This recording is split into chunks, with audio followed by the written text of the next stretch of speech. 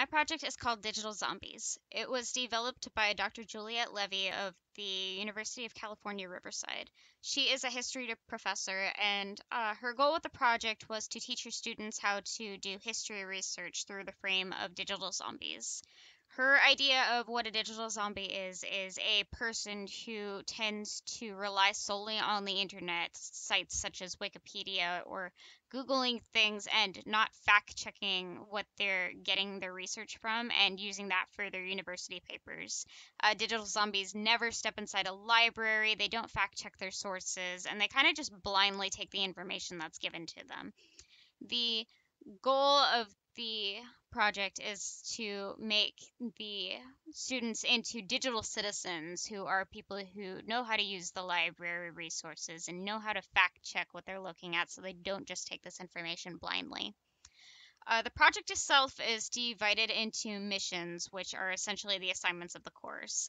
Some of the missions include checking a Wikipedia page to see if the information on it is trustworthy and why, and also creating a false version of history that feels true in a manner that could fool a digital zombie. And this includes writing an article that flips the history on its head and also creating false evidence that looks realistic in order to try to fool digital zombies.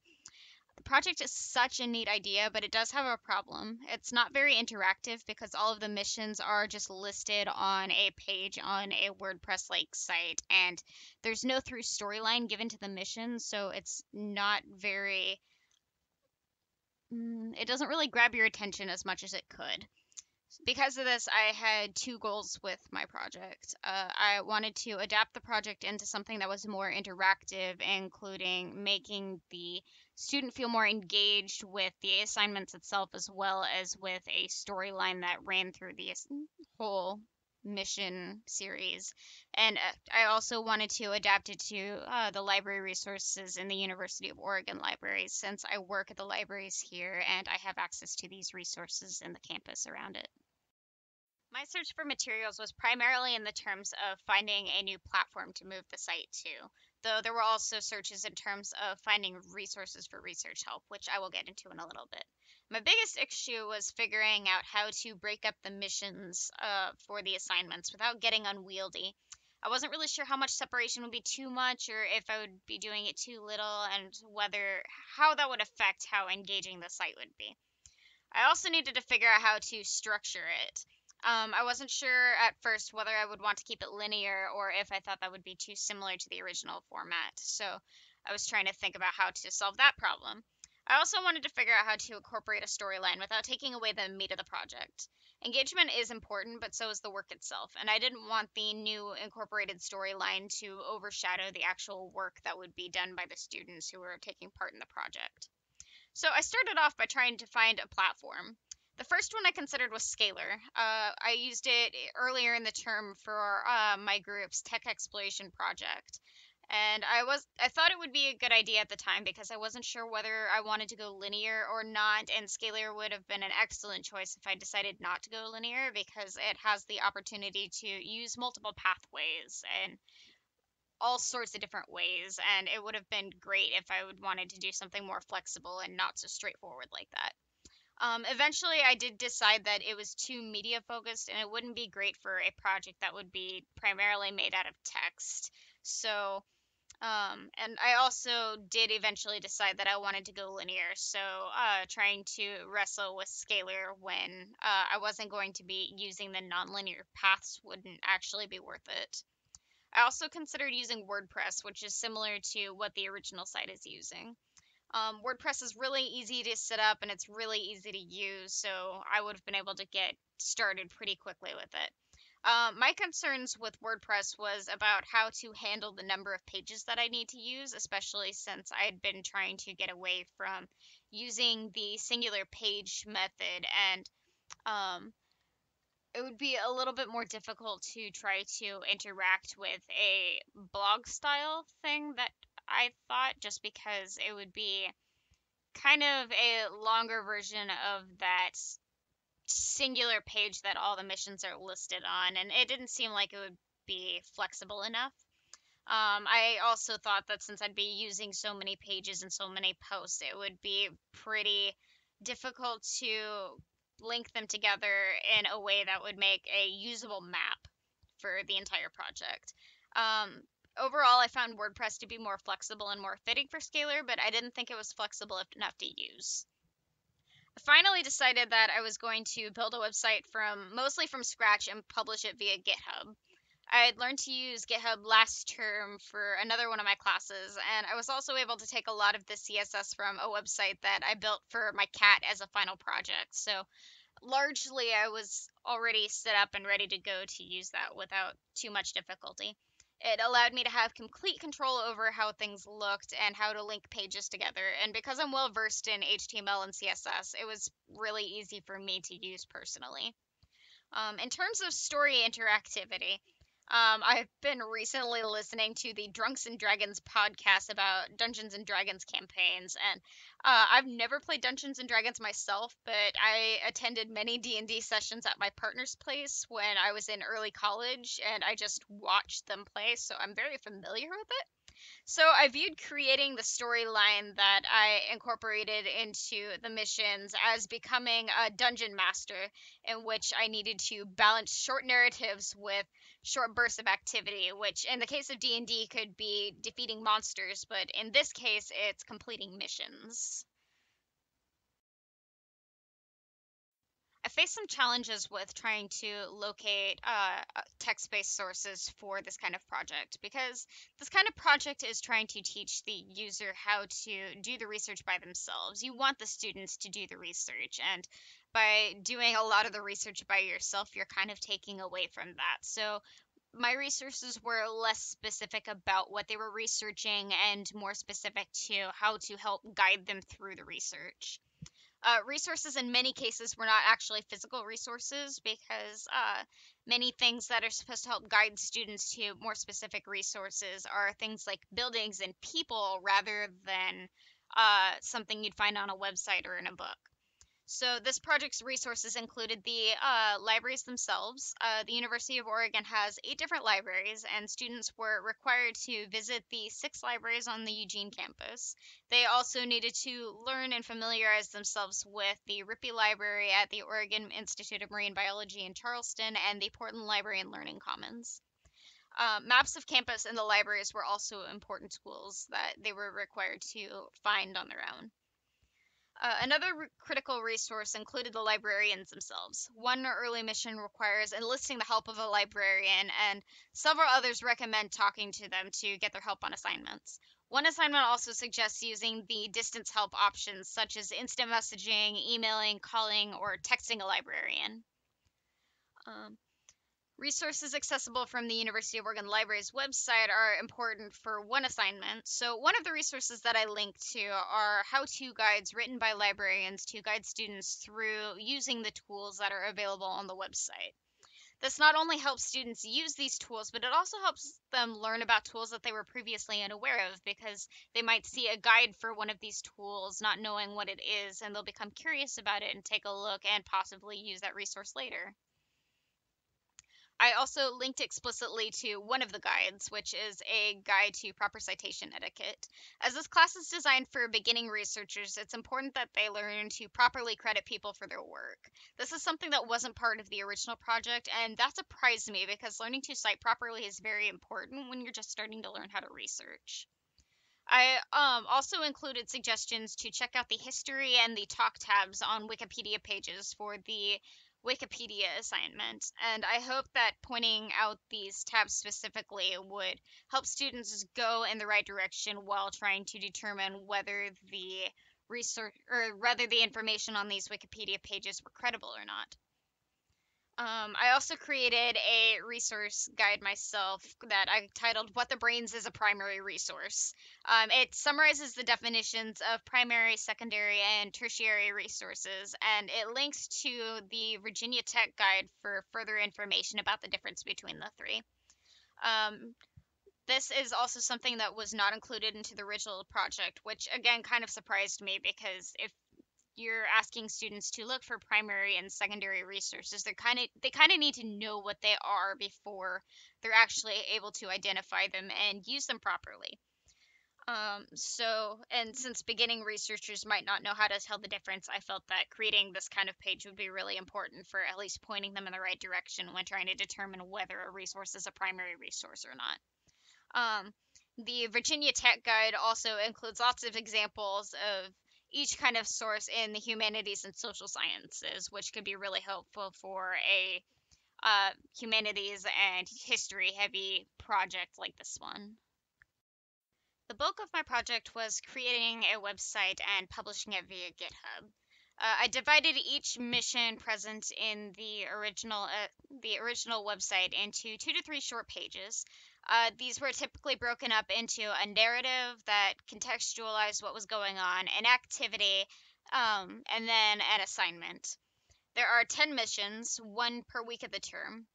Pages are kept short enough to keep the student's attention, but each week only requires looking at two to three pages, so it's not that overwhelming to look at, which is a pretty stark contrast from the uh, the single page that just lists out all the assignments as given in the original.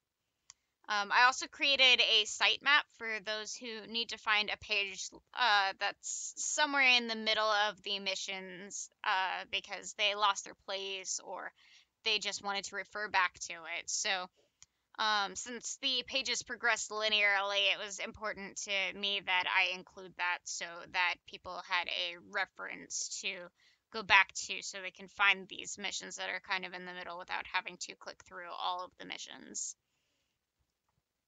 Um, the first page, which is labeled Start Your Mission, starts by listing out the contents of a survival kit and the contents are your analog writing utensils, uh, your digital devices such as your phones, tablets, or laptops, uh, your library access credentials, and then uh, World War Z by Max Max Brooks. Uh, World War Z is a book of fake history of the zombie war as told by interview subjects who were supposedly there at the time uh, that the zombie war was happening. Uh, the book serves to help the zombie theme uh, come about, and it also creates the basis for the final project, which is creating a fake history itself. Um, you start off by uh, reading World War Z, and uh, your the character in the story starts off by reading that, and it's told in second person. So you start off by walking down the path reading the book and you finish the book and you're smiling and then suddenly your smile starts to fade as you look up and you see all of these digital zombies that are walking along the bike path and you just kind of stare at them in horror and then suddenly you get shoved into the back of a moving vehicle and you get transported to the University of Oregon campus which realistically is only about 3 miles away from the bike path and then you get kind of just pulled out of the van by this mysterious being who you can't really identify. And they're kind of a strange person and they want to help you learn how to protect yourself from becoming a digital zombie. And they explain to you why that's important. Um, you eventually accept their offer because you don't want to become a digital zombie. Um, and then the mysterious person starts giving you uh, these missions to complete in order to get through your training so that you can prevent becoming a digital zombie. Uh, the missions progress at the typical pattern of getting narrative context for your task, performing an activity to learn about how to not be a digital zombie, and then doing a what is a typically a written assignment, usually a pretty short one. Uh, weeks with longer assignments sometimes don't have an activity, and one week requires peer reviewed papers, which was not in the original project, but I thought was also important to uh, learning how to do research. So, um, in this particular week, the typical activity and then assignment order was flipped around so that the assignment was done first and then the activity was doing the peer review with the partner. Um, keeping things short proved to be pretty engaging to students as they don't feel as overwhelmed as they do with the wall of text that's presented to them on the original site. I tested both of these sites, both the original and my new site, on one of my coworkers who is a soon to be college senior, and she said that she would much rather use my site because she felt more interested in the activities with the layout that I chose. Uh, she even kept this stance when I pointed out that I'd added quite a bit more work when adapting the project. Which was surprising because you'd think that a college student approaching dead week would want to keep the workload as small as possible. Uh, since the text chunks are so small, it's easy to pass off more work as less work because the eye is fooled by the amount of words on the page. In the end, you end up creating a final project that involves creating a lie about history, including creating the fake sources that support your lie. Um, in the epilogue, the mysterious being, who my coworker insists is, is actually Gandalf, uh, disappears suddenly because supposedly because your lie was so effective, and then you kind of just go home and go along your life. And um, at that point, you become a digital citizen because you now know how not to become a digital zombie. Uh, the purpose of the creating a lie about history assignment was to uh, learn how digital digital zombies think and learn how to avoid uh, being tricked like one by learning how to identify how to um learning how to identify these fake sources by creating one yourself so you can start figuring out how what the warning signs are before actually running into the situation in real life uh, your project is supposed to be able to fool a digital zombie into thinking that your fake history is actually a real thing that happened. But um, a what is called a digital citizen should be able to tell the difference between the two. Though, if you're really convincing, you might be able to fool both digital zombies and digital citizens into thinking your history is real. In which case, props to you because that's not exactly an easy task to complete. In terms of reflection, I think in general I did really well at adapting the website to its new form. I managed to create something fun and engaging, and I essentially revamped an entire college course in the process, which was not something I really thought about when I first chose this project. Um, I do not have a large history background. I took a handful of history classes in my undergrad, and while I was taught about the difference between primary and secondary sources, I didn't have the greatest idea what history resources were available in general because I was typically handed my resources in these lower division classes in the form of textbooks. I didn't really have enough time to focus on adapting the technology, finding general research resources, and finding history resources. So I stuck with the first two because I felt like they were the most critical to the backbone of the project. The history resources, while they would have been nice to find, are things that the general resource research resources can point students towards so that they can find them on their own.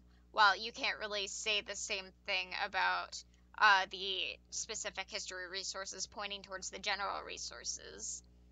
Um, I also wish that I could have spent more time on the accessibility issues with the website.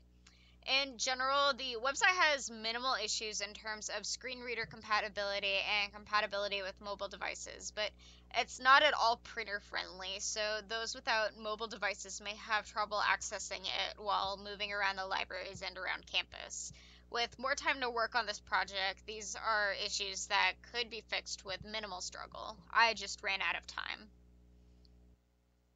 Overall, I was very happy with how my project turned out. I hadn't been expecting to code a new website when I first picked out the project, but I'm actually pretty glad that I took that route because I really love web programming and it made creating this project really fun for me, even before adding in the silly storyline with uh, the mysterious person who is a who may or may not be Gandalf.